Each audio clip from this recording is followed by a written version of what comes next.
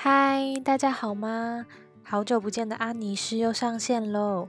今天要跟大家分享超级简单的韩式辣炒年糕食谱。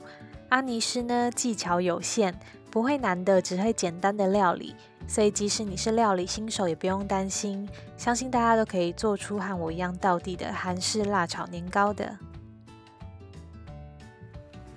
首先，先准备一锅水，水滚了之后放下高汤的底料。我今天用的是超市买回来的高汤包，里面有提鱼干和昆布。如果没有这种高汤包的话，你也可以直接用昆布还有小鱼干来熬汤底。等待高汤的时间，接着来准备水煮蛋。我今天用的是台湾家家户户都有的大同电锅，把餐巾纸沾湿之后放进外锅内。上面再放上鸡蛋，接着打开电源，按下开关，等等就准备赞叹大同电锅有多神奇吧。再来把辣炒年糕的主角年糕泡在冷水中备用，两人份可以准备两百到三百克左右。接着开始准备辣炒年糕的配角们，首先一定要有高丽菜，我和老金喜欢吃很多高丽菜的版本，所以我会加的稍微多一点。再来是韩式鱼板，我刚好把家里最后剩的都拿出来了。鱼板的种类和量没有一定，切法也很随意。时间多的话，你想要切成爱心也是可以的。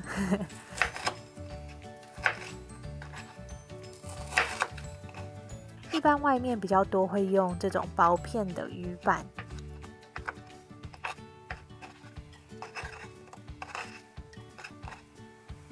再来就是辣炒年糕的灵魂，最重要的酱汁部分来喽。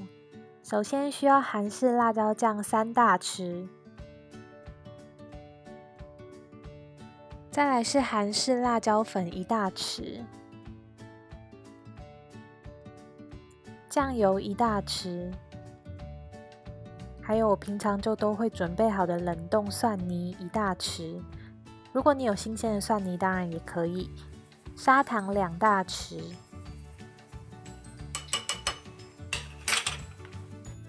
寡糖如果没有的话，也可以用果糖代替，两大匙。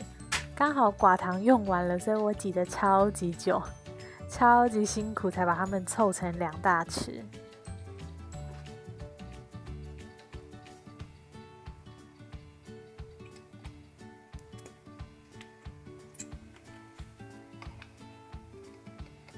再来是咖喱粉一小匙，接着就把这个神秘的辣炒年糕酱料搅拌均匀。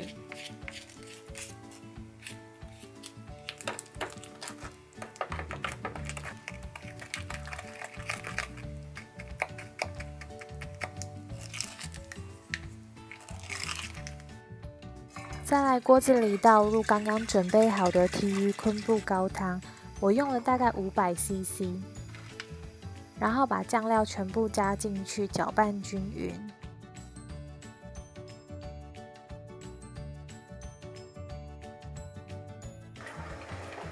接着加入刚刚我们泡过水的年糕。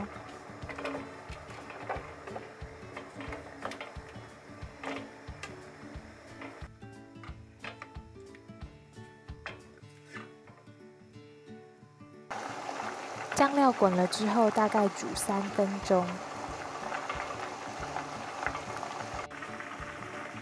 再来加入刚刚准备好的鱼板，还有高丽菜。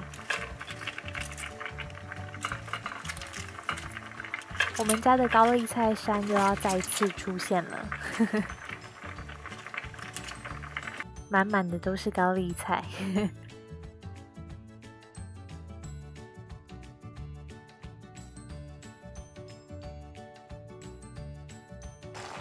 每次看到这种一整锅的食物在滚，不知道为什么就会觉得特别的兴奋，应该是发自内心是个吃货来着。在等待年糕继续滚的同时呢，我们万能的大同电锅已经完成了它的使命，我们的水煮蛋出炉了。我现在比较聪明，都会先把蛋从冰箱拿出来退冰。我发现退冰之后的蛋，嗯，煮好之后蛋壳会比较好剥。虽然我不知道这有没有什么科学根据，纯粹是我自己的发现。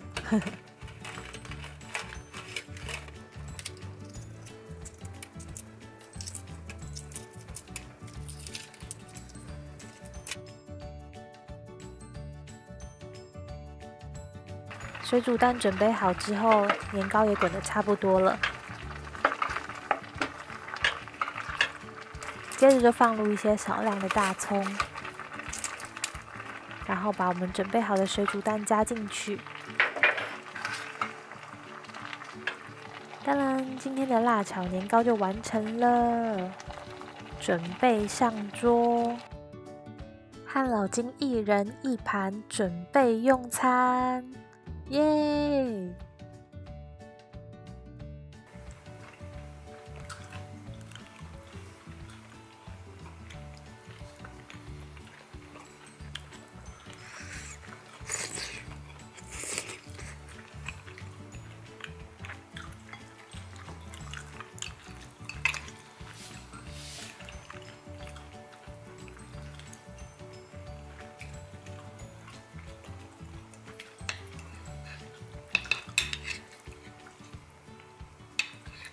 조금 딱딱하지.